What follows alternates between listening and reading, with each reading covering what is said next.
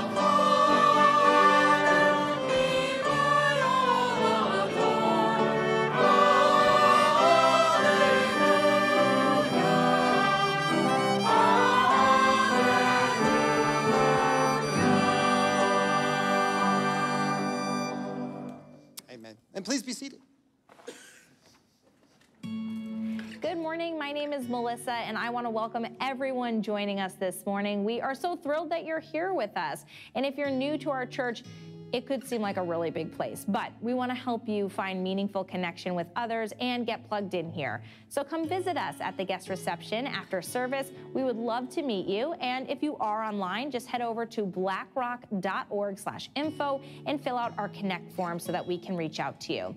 Well, coming up next month is Baptism Sunday, and the Bible is clear that followers of Jesus should declare their relationship to him through the symbol of baptism.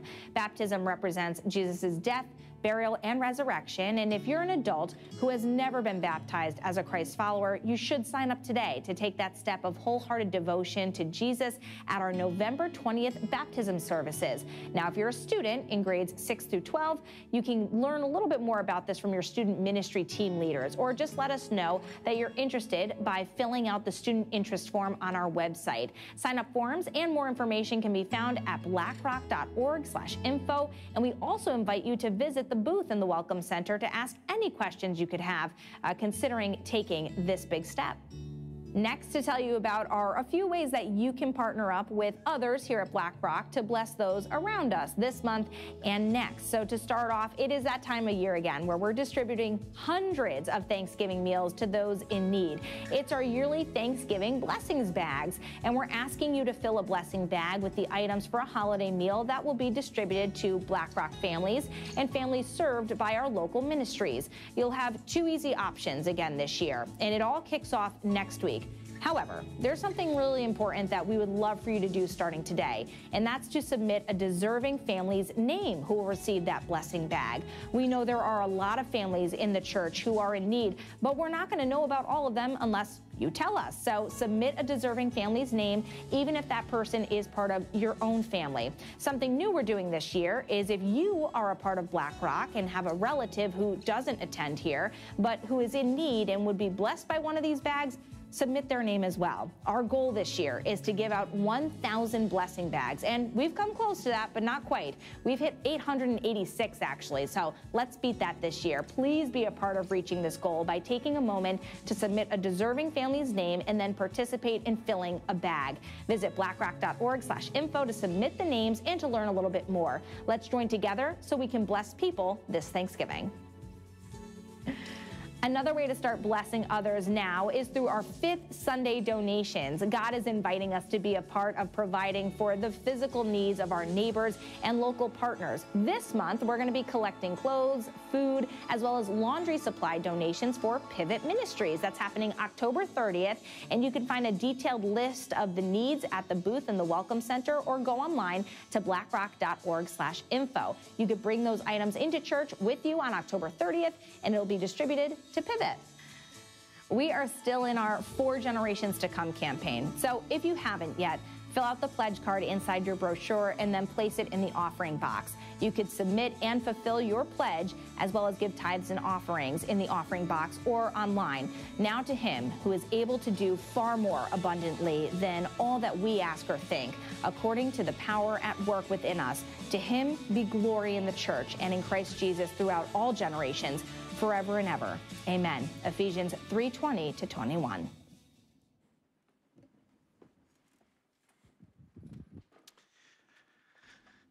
Let's join together in prayer.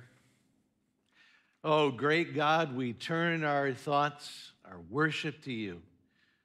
Lord, we thank you for the privilege we have to live in New England. And uh, Lord, to see the display of your creativity and your beauty in the autumn leaves. Lord, thank you for the way these colorful leaves uh, are illuminated by sunlight, by your light, and then uh, in the in the wind, there's this this uh, celebration, like a ticker tape parade of of just color coming down. Lord, we thank you for your creativity. You did not have to bless us with this kind of beauty, but you did. And we just are, we stand in awe of your care, your creativity, your goodness that's displayed everywhere around us. Thank you for displaying that both in your created uh, world, but also thank you for displaying it in your people. Lord, thank you for the joy we have to bless each other in your name. And Lord, would you just continue to uh, make uh, BlackRock a place of blessing where you're, are, you're not only blessing your people uh, who follow you, Jesus, but that you're also sending us out because that's your heart, that's your mission to go out and to bless others with uh, the love that you've given to us in very practical ways, but also uh, with that message of salvation in your name. God, thank you for being with us in times of, uh, of joy and in times of need and even sorrow. Lord, we pray for uh, the family of Phyllis Rogers in uh, her homegoing. Lord, we're just praying for this family that you give them comfort and peace. Uh, and Lord, I also just uh, seek that for all here today who are grieving someone, who are missing someone, who sense loss in their lives. Lord, would you fill uh, that empty spot with your presence, your love, your care? And Lord, we also lift up uh, Ken Steve Sr., uh, who is in the hospital receiving treatment. Lord, would you heal his body? Would you restore him to, uh, to health? Lord, thank you for his uh, desire to serve you and to love people around him. Lord, even use him in the hospital uh, to uh, be a, a messenger of peace and joy. Lord, we also thank you for just your word and ministry in this place. Lord, we pray that you would even use the, um, the opening of your word as we uh, study your word together today. Lord, would you give us a whole new sense of your purpose for us in whatever we do uh, for your glory, Jesus. Lord, we give to you uh, the overflow of what you've given to us. Uh, you've given us so much. And now, in that um, responsibility of, of giving back in worship to you. We give our offering, uh, whether it be here in this room or uh, if we're on online to give online to your glory, Jesus, to your work in this world. We praise you together in your name. Amen. Would you receive now these words from Psalm 42? As a deer longs for flowing streams, so I long for you, God. I thirst for God, the living God. When can I come and appear before God? My tears have been my food day and night, while all day long people say to me, Where is your God? I remember this as I pour out my heart, how I walked with many, leading the festive procession to the house of God with joyful and thankful shouts. Why, my soul, are you so dejected? Why are you in such turmoil? Put your hope in God, for I will still praise him, my Savior and my God. I am deeply depressed. Therefore, I remember you from the land of Jordan and the peaks of Hermon from Mount Mizar. Deep calls to deep in the roar of your waterfalls. All your breakers and your billows have swept over me. The Lord will send his faithful love by day, and his song will be with me in the night, a prayer to the God of my life. I will say to God, my rock, why have you forgotten me? Why must I go about in sorrow because of the enemy's oppression? My adversaries taunt me as if crushing my bones, while all day long they say to me, Where is your God? Why, my soul, are you so dejected? Why are you in such turmoil? Put your hope in God, for I will still praise him, my Savior and my God. We hear the emotion and the anguish in these words, asking that question we've all asked at one point or another why? Why is this happening? Why am I feeling this way? Why am I so discouraged? And if that's you this morning, or if that was you last week, or if it's not you right now, you can rest assured it will be you one day. We have to take those words that come after the why, which say, put your hope in God. Because whatever our lot, whatever God has allowed into our path, we can say together, It is well with my soul when we have put our hope in Him. So, would you stand and let's do that now together?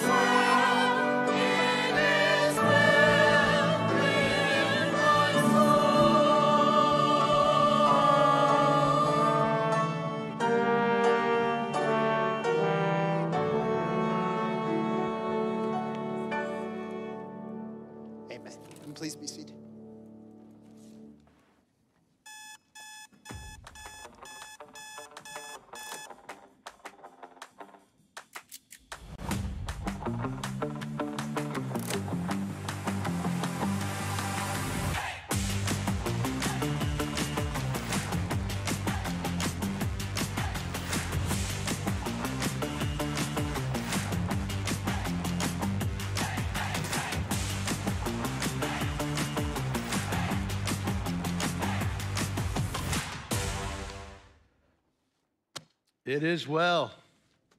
It is well with our souls. Um, I'd like to uh, tell you about a hospital, large city hospital, with a mystery. Uh, this is a specialty hospital, which means that all four, floors of this facility are treating the same kind of patients with the same kind of illnesses. Uh, but one of the four floors has uh, patients having a better outcome. Uh, and that's the mystery. Why is the third floor have uh, patients who seem to get better faster and be healed more, uh, more uh, evidently? Well, uh, it's kind of a mystery that uh, was, was unsolved for a long time. Uh, why is it that the third floor uh, was, was different? And uh, it started to come out in um, the patient surveys. There was a patient survey that every patient got on the way out of the care. And uh, on the patient surveys, they would, of the patients on the third floor would rate their experience higher. And in the comments section, they would bring up the name of a man named Walter. The uh, hospital had four floors and had a different custodian on every floor. The custodian on the third floor was named Walter. And uh, if you were to ask the other three custodians uh, there in the hospital, uh, they wouldn't say they hated their job. They would just say that their job was low level, low importance, meaningless, really, just pushing the broom and uh, mopping the floors and emptying the waste baskets. But if you talk to Walter, Walter would say, Oh no, my job is God's calling, it's my purpose. And that's why Walter was going to his supervisor and talking about the paint in the walls in the patient's rooms and saying, Why are all the patient rooms the same gray, drab, color? And why are there no pictures on the wall? And the supervisor said, Walter, if you want to change the paint color and you want to change uh, the look of the rooms, you're going to have to go to the hospital board. And so Walter did.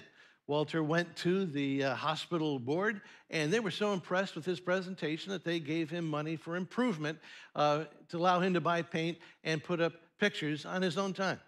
And so while Walter was putting up these uh, pictures and painting the walls, people would ask him, Why are you doing this, Walter? And he would say, Well, I'm not a doctor, I'm not a nurse, but God has put me here to do whatever I can do. And Walter did more than just paint and put up pictures because his job took him into every patient room. And while he was mopping the floor in the patient's room or emptying the wastebasket, he would introduce himself and then he would say to the uh, patient lying in the hospital bed, uh, You see this uh, picture of the sunrise over the mountain? I'm praying this for you. I'm praying that you understand that this is a brand new day of God's love and care for you. And by the way, I know that this is a sunrise and not a sunset because I bought this picture and I put it up with you in mind. God bless you. And Walter would do that in every patient room. Go to a different one of the pictures that he had put up and apply it to the patient. And these patients got the message. Why would Walter do that? Well, it's because he had this extraordinary purpose for his what seemed like an ordinary job. He had this extraordinary God given purpose for what seemed like an ordinary job. And it was a message that came to his patients who would write down in the comment section of their patient survey something about Walter, which solved the mystery of the third floor. The third floor miracle was a man with God given purpose in his job named Walter. Whatever I do, whatever I work at, wherever I work, I can be like Walter. Maybe I work in an office, or uh, I'm a student uh, going to school, or maybe I'm a retired or between jobs. Whatever my work is, Walter proves that the impact of my life is not found in working, but in God's purpose in my work. Over and over again in Scripture, God proclaims that his people have a purpose. There, there is no such thing as a meaningless job. Over and over, Scripture declares that wherever God's people work, they have an extraordinary purpose in what seems like an ordinary job. Uh, for instance, uh, as God says through the Apostle Paul in 1 Corinthians, each person should live as a believer in whatever situation the Lord has assigned to them, just as God has called them. Now, in the context of these words, Paul says if you're single, God has a purpose for your singleness. If you're married, God has a purpose for your marriage. But then, in the very same context, Paul moves from marital status to employment, to work. And he says, whether you're slave or free, have a high position job or low position job, your work is alive with purpose if you are in Christ. Your purpose for your job goes beyond your paycheck. God has an extraordinary purpose through what seems like your ordinary job. Now, this is not just theoretical. God really does have a purpose for your work. And we see it in person after person, uh, like people like Walter. Or, for instance, I could tell you about people like Dan and Joe and Becky and Esther. Dan worked for the government. Uh, Joe worked in a correctional facility. Uh, Becky worked with uh, water and wells. And uh, Esther, well, let me start with her because, as some of you have already figured out, Dan and Joe and Becky and Esther are Old Testament characters. Uh, Esther was a young woman who followed God when God's people were vulnerable exiles in a strange land.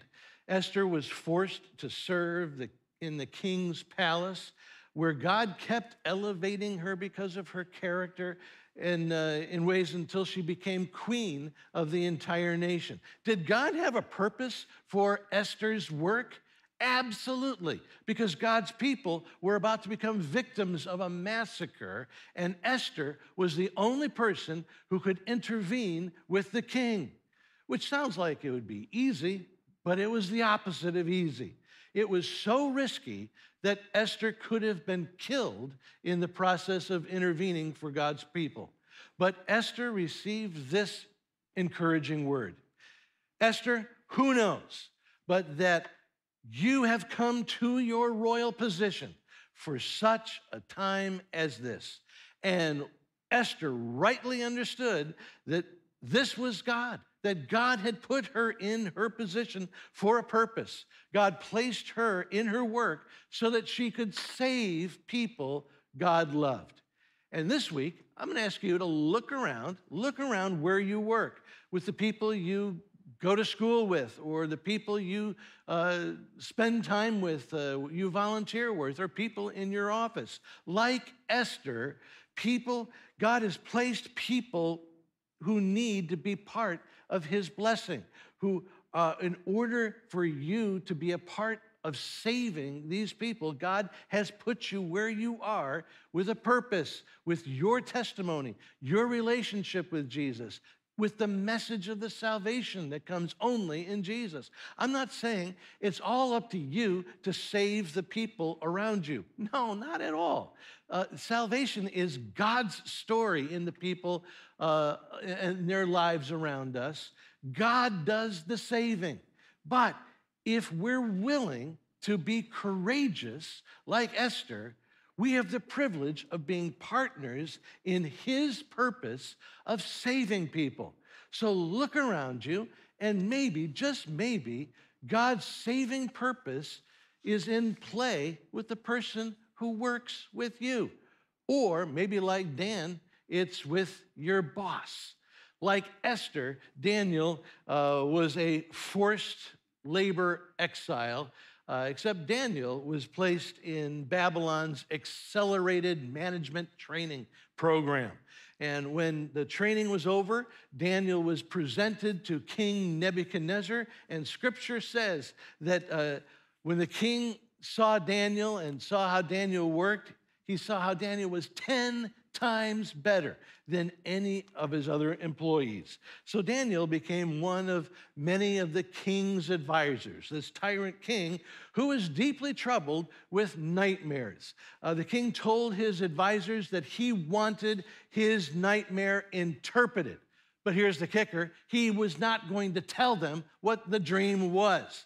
Uh, and the king also declared to his advisors that they had better guess his dream correctly, because if they did not, they would be executed. See, Nebuchadnezzar was a tough boss. When he terminated an employee, he really terminated an employee. You know what I'm saying? Uh, so when these other advisors were cowering in fear, Daniel courageously recounted the dream of Nebuchadnezzar and explained what it meant. And sensing that he was uh, in God's presence through Daniel, Daniel's tough boss fell on his face and acknowledged God. And it was the beginning of a really amazing spiritual journey uh, for King Nebuchadnezzar in the book of Daniel.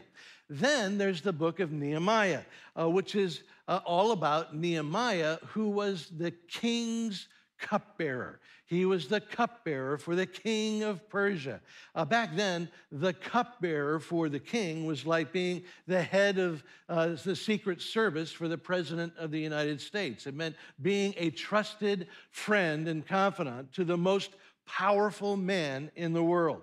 Well, with the same courage displayed by Esther and Daniel, Nehemiah uh, boldly requested that the king release him so that he could serve God and God's purpose by rebuilding the walls of Jerusalem. Because Jerusalem's walls were in ruin, God uh, had people he loved who were under terrible uh, suffering and sickness and attack. And maybe God has put you where you work for the same reason that God put Nehemiah in his job. This week, look around at the people you work with or study with or uh, you spend your time with. Look around and is there someone whose life is falling apart? Is there someone whose world is crumbling and just needs a friend who will listen and care enough to help them rebuild in their lives? It might be that God has called you to be Nehemiah, to be a rebuilder for someone he loves around you who is broken. Maybe God has called you, just like Walter, to be a part of the healing process. God has called you not just to push a broom or push a mop or push papers or push a product. God has called you there to push God's healing into places of hurt, to push God's presence into places of pain, to push God's love in places of loneliness and despair. And then there's Joseph who I mentioned earlier in this Faith at Work series, Joe landed in a correctional facility uh, because he was falsely accused of a crime.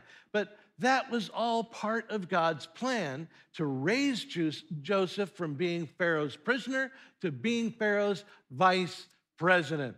A job God gave to Joseph so that Joseph could be a channel of God's blessing to his family, starting with his family, and then a channel of blessing to, no kidding, the whole known world at that time. So in Esther and Daniel and Joseph and Nehemiah, God keeps showing me that God's purpose for my work includes using me to bring salvation and healing and blessing to people he loves.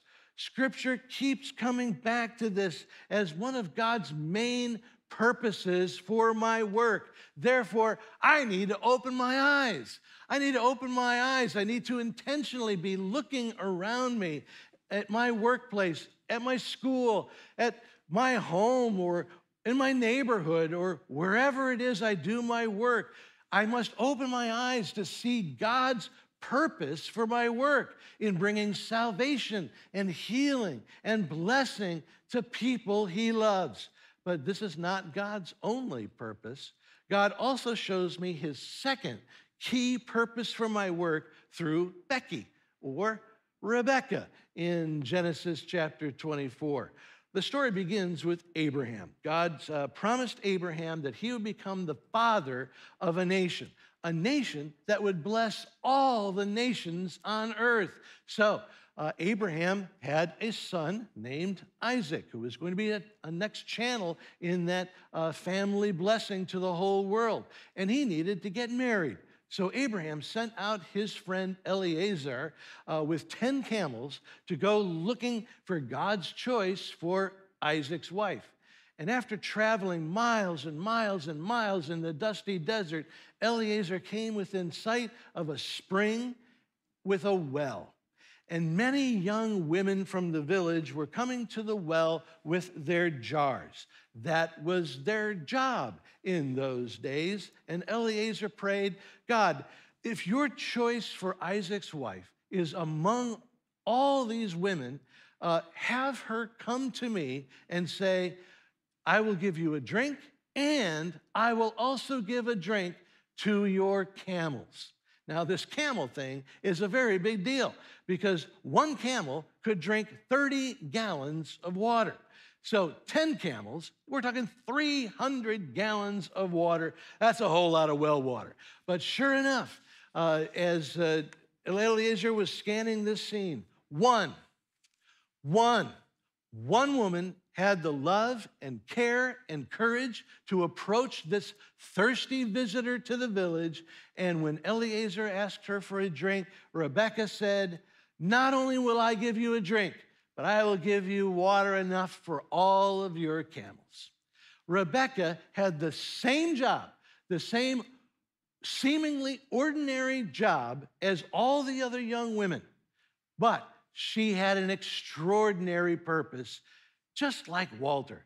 Rebecca had this elevated sense of purpose. Rebecca understood her purpose was not just drawing water.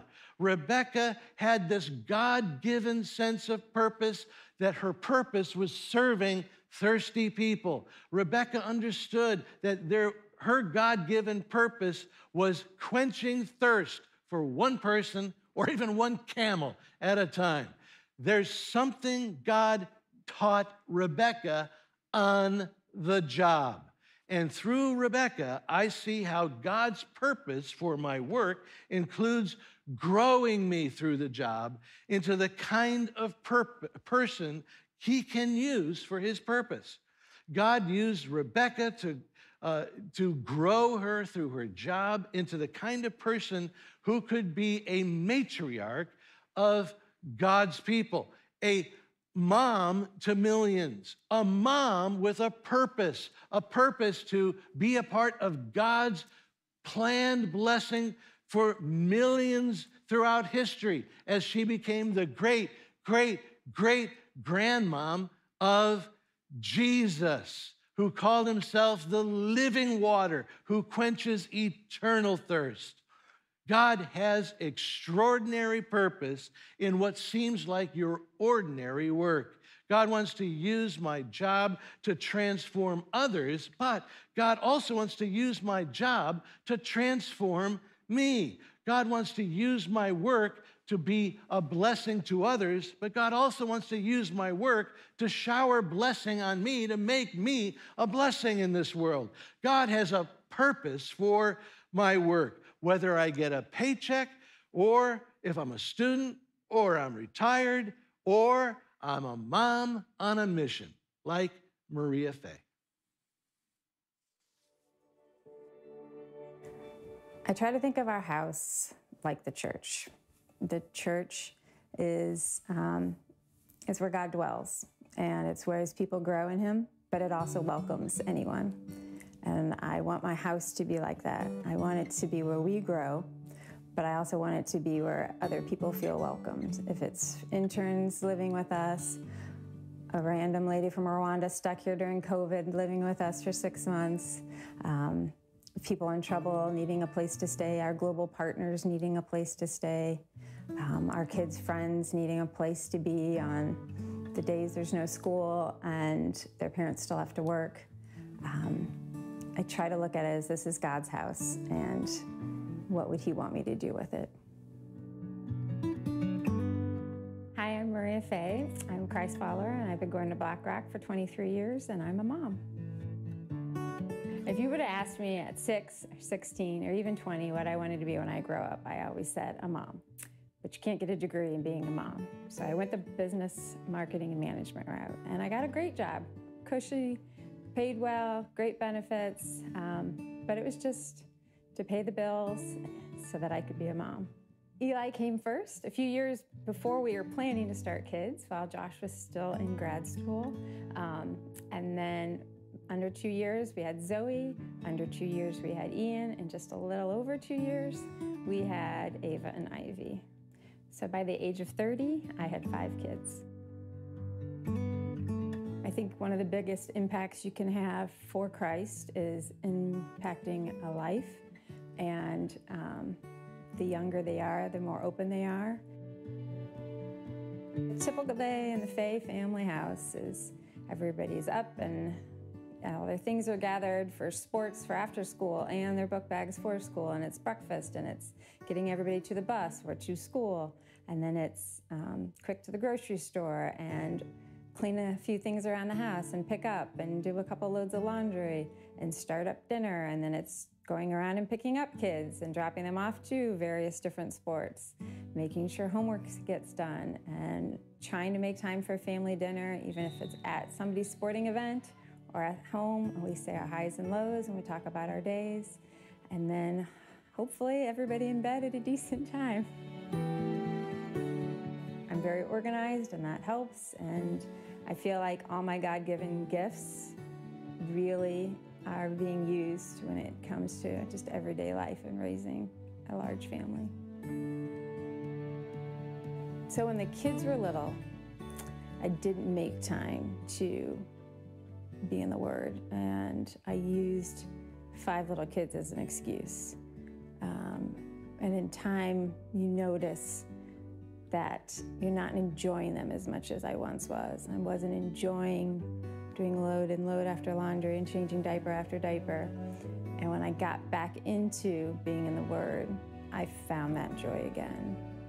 One of our great joys we've had as a family, as I said earlier, has been opening our home to anyone in need. I think one of our favorite memories is a young girl who came and lived with us that was lost in college and was new to the faith, didn't really know what a Christ centered home looked like. Um, and just being able to invite her into our home and our lives and our family for a year and seeing her now um, just flourish in a church in a relationship that's glorifying the Lord with the family of her own, and it's just a beautiful thing. In today's world, I feel like the family is being pulled apart and everybody's going in their own direction and that's something that we've tried really hard to um, make a point of having our family together as much as possible. One of our favorite family traditions is saying our highs and lows at dinner. It started when the kids were little, um, and we've continued it till this day. And it's your favorite part of the day and your least favorite part of the day. And the point was and I think I grabbed it from some book, was just to get your kids to open up. They'll always tell you the great things of their day, but sometimes you won't know that somebody was making fun of them at school or they were embarrassed about something. Um, and it's really helped us just kind of see where they are and um, given us a safe place to share and helped me know where to pray for them.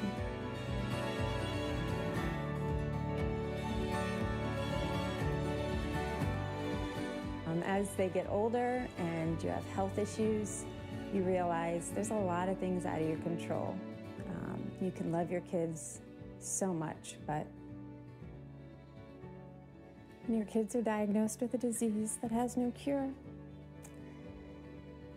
you have two options. It's to push God away or pull God in. And I've seen too many people push God away and their lives fall apart. So I found that pulling him in, and if it means screaming to him, begging him, but just reaching out to him, it is the best thing you can do for yourself and for your kids and as a mom.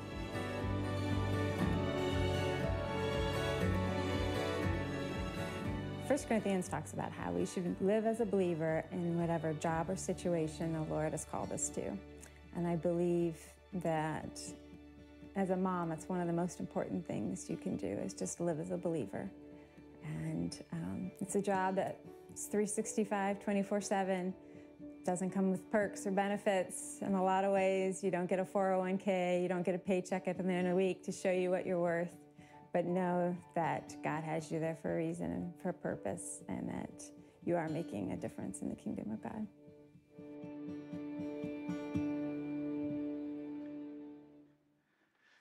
You know, I hope if you're a stay at home mom or a stay at home dad, grandmom or granddad, I hope you know just how extraordinary your purpose is in what seems like an ordinary job. I love how Maria uh, is a mom on a mission. And she starts with her purpose statement that the church is God's house where God both grows his children and also welcomes anyone in need. And so Maria's purpose is to make her home God's house where he grows uh, his children and also welcomes those who are lost and hurting. And one of Maria's favorite family memories is how they opened their home to a uh, non family member, uh, how they made room for over a year to a, a, college woman who was from a broken home, had nowhere else to go.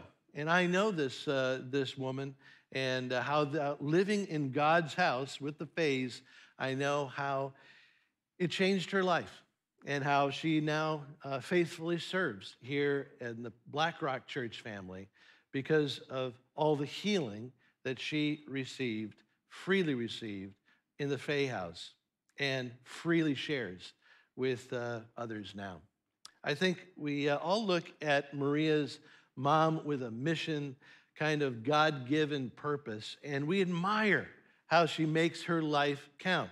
We admire uh, the Esthers and the Nehemiahs and the Daniels and the Josephs and the Rebeccas we admire them, but then we stop with admiration and we don't actually go beyond to actually living with this kind of God given purpose that gives our life impact and makes our lives really count in similar ways. And I think I know why we stop short with just admiration.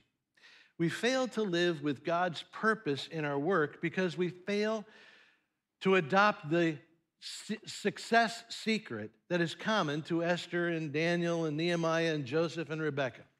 The success secret for purpose at work is faith over fear. Uh, Esther fulfilled her purpose to save people God loved because she had faith in God over fear of the king.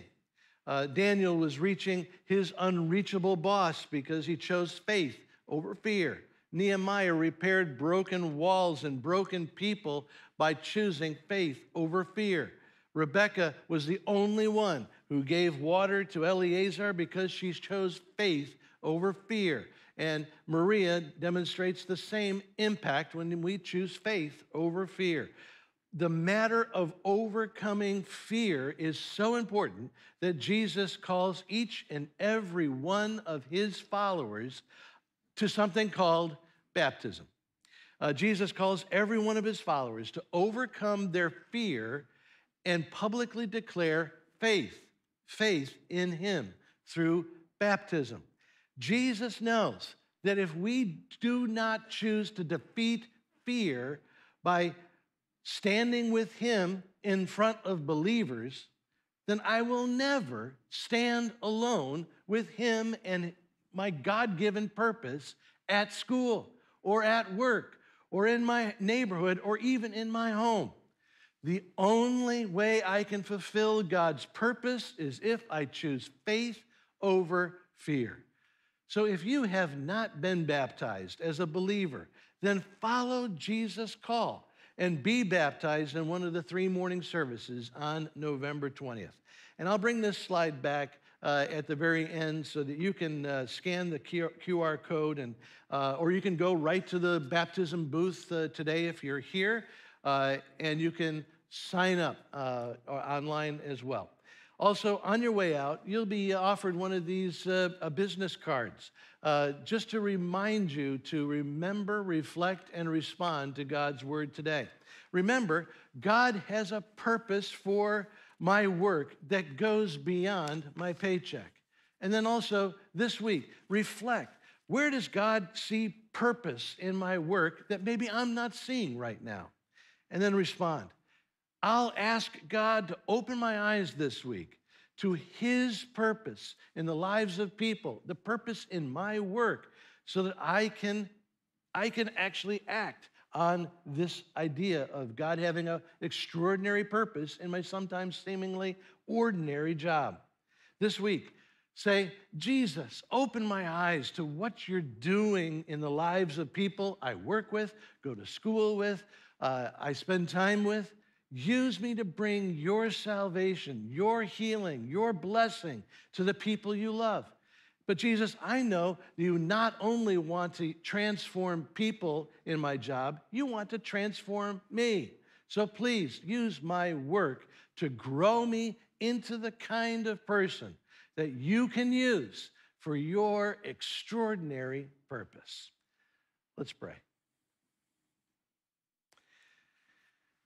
Jesus, we thank you that uh, when you come uh, into our lives, as we put our faith in you, uh, as you uh, take over what is um, our lives that are without real eternal purpose, that when you come into our lives, you give us an extraordinary eternal purpose for our work.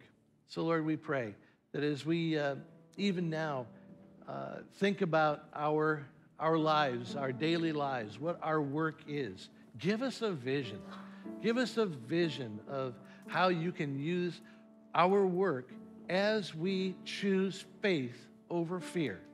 Lord, would you just fill us again with the, the, the uh, clear choice that in order for our lives to have impact, it's not just working, it's working with your purposes in mind. So, Lord, fill us again with faith over fear, with your vision we pray, Lord Jesus. Amen. And please stand as we sing together.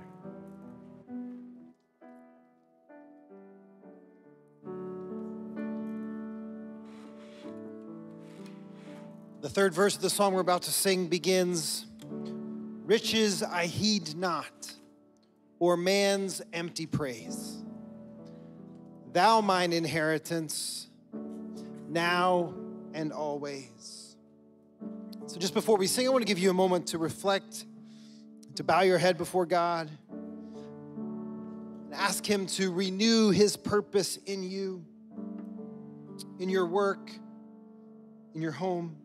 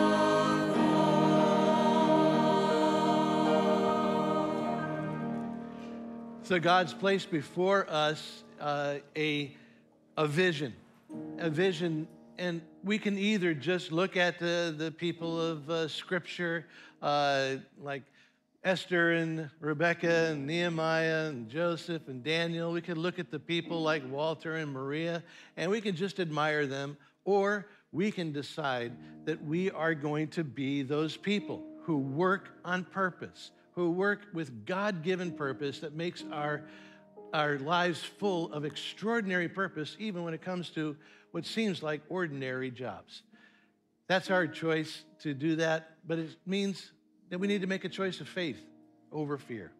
And uh, a good place to start with that is baptism. So I leave this up here. Uh, you can use the uh, code to scan it, and uh, you can electronically just register to be baptized on uh, November 20th, or head out to the baptism booth, just sign up, and we'll get you on your way uh, to be baptized on November 20th in one of our three services.